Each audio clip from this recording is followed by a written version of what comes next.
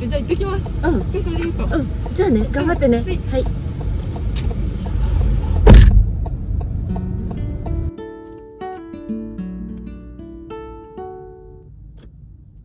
皆さんこんにちは。この動画を撮った日は2023年1月14日土曜日でした。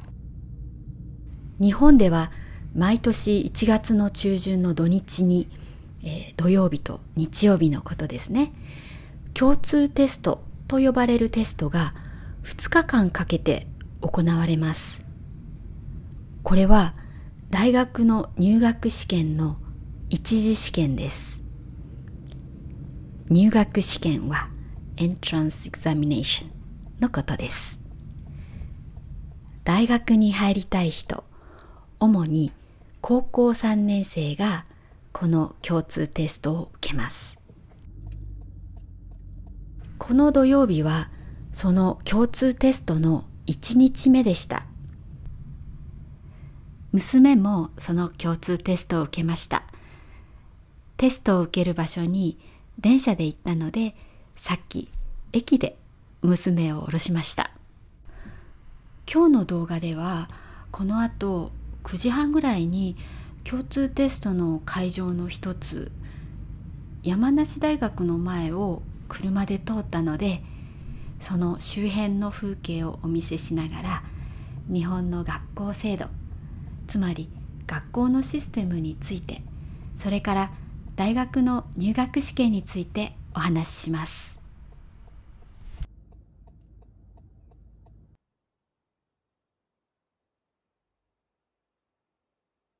日本の学校は4月に始まって3月に終わります。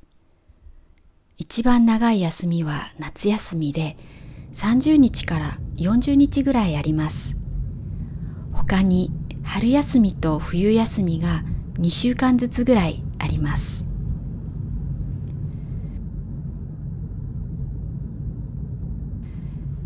日本の学校制度は633制です。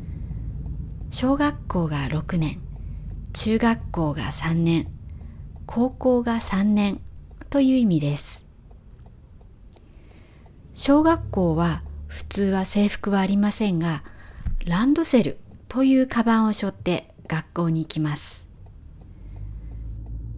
中学と高校は制服があります。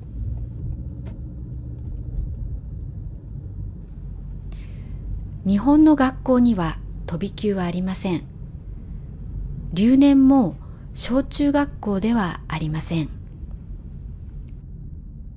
高校では留年の可能性があります。これは日本のどこに行っても同じです。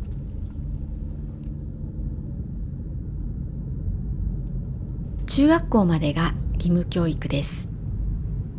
ですが98%ぐらいは高校に行きます。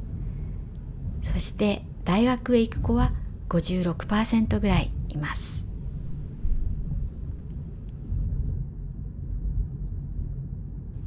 日本の大学には国公立大学と私立大学があります。国立大学と公立大学を合わせて国公立大学と呼んでいます。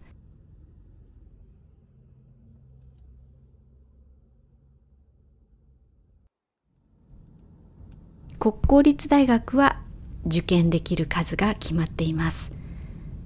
私立大学はいくつでも受けることができます。そして国公立大学の方が、えー私立大学よりも普通は学費が安いです。国公立大学に行くならばこの共通テストをまず受けます。私立大学の場合は大学によって受けたり受けなかったりします。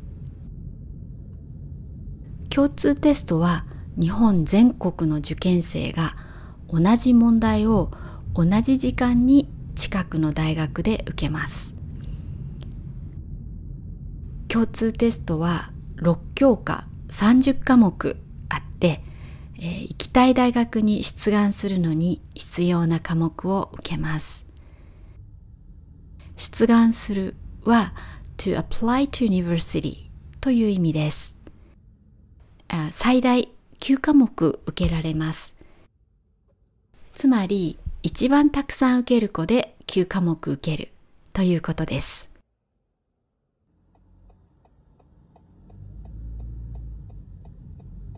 はい、ここを左に曲がります。右に曲がるとすぐ甲府駅があります。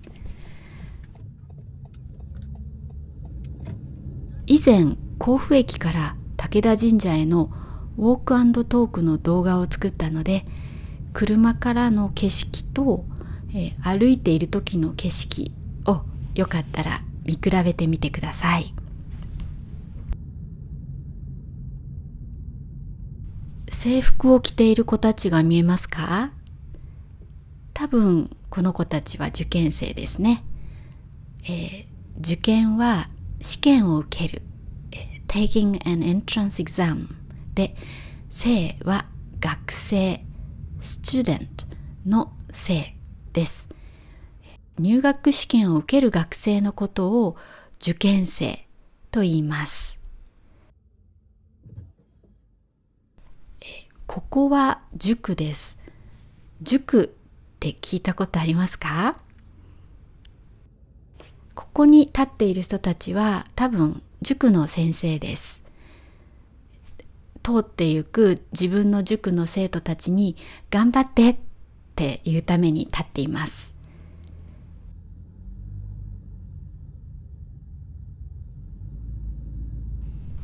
共通テストの次の月曜日に高校3年生の子たちは学校でテストの自己採点をします。自己採点というのは自分の答えが合っていたか自分で確認して何点取ったのか確認することです。実際に何点取ったのかは本人はわかりません。点数は出願する大学に直接送られることになります。この後2月から3月にかけて二次試験があります。二次試験はそれぞれの大学が作り、受験生はそれぞれの大学に行ってそれを受けます。とにかくこの日はその共通テストの1日目でした。共通テストのある日はよく雪が降ったりしますが、この日は曇りでよかったです。雪が降ると電車が止まるので受験の会場に行けなくて大変なんです。たくさん受験生が歩いていますね。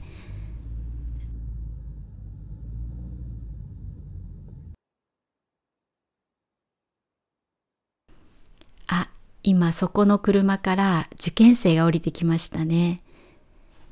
なぜこういうところで降りるかというと学校が車で来ることを認めていないからです。道が混みすぎてしまうからです。なのでこっそり送ってくるとしたらこういうコンビニの駐車場などで降ろすことになります。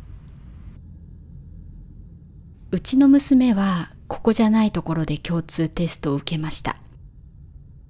この日は友達と電車で行って2日目の日曜日は1人だったので会場の近くのコンビニまで送っていきました。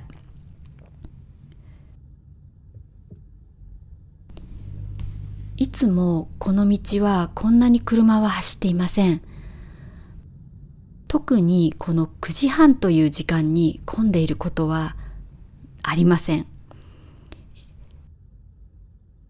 向こうから来る車が多いですがこれはみんな受験生を送ってきた親の車だと思います。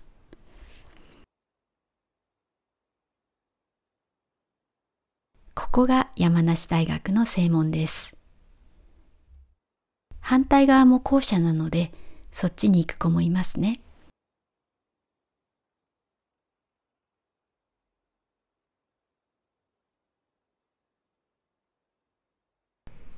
ここにも別の入り口があります。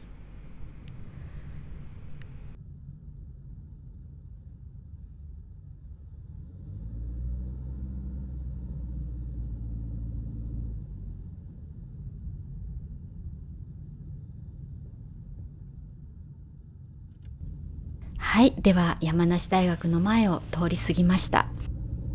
この先は武田神社があってその先はもう山です。なのでこっちから山梨大学に来る子はほぼいないと思います。でもせっかくなので武田神社まで行きますね。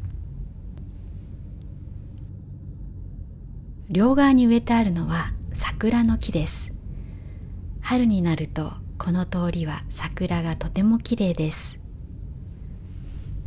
でも今年の春はどんなに桜が綺麗でも私は寂しくなる気がします。というのも娘が家を出ていくからです。先週娘は東京に行ってしまいました。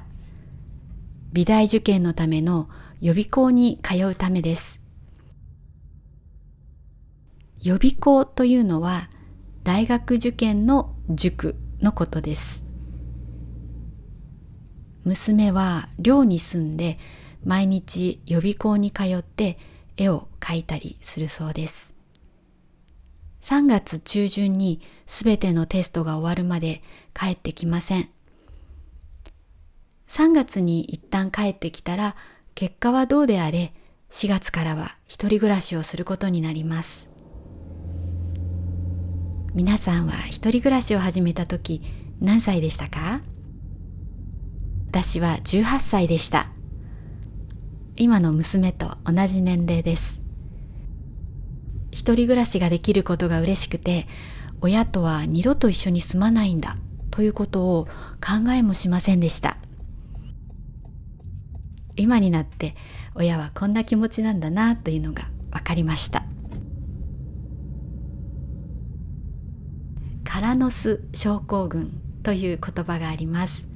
これは英語の Empty Net Syndrome の直訳なんですが日本でもこのカラノス症候群というのはあの有名な言葉です。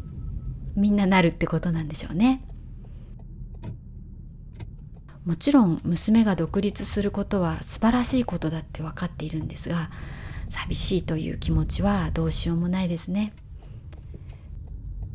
でもきっとそのうちなれると思います。あと息子も2人いますし。でも一番下の息子が出ていくまでたった6年しかないんだなということも実感しています。一緒にいられる時間を大事にしないとなと思っています。さて今日の動画はここまでです。皆さんの国の学校制度や大学受験の制度それから実家を出たのは何歳だったのかそれともまた実家にいますか？などなどよかったらコメント欄で教えてください。ではまた次の動画でお会いしましょう。さよなら。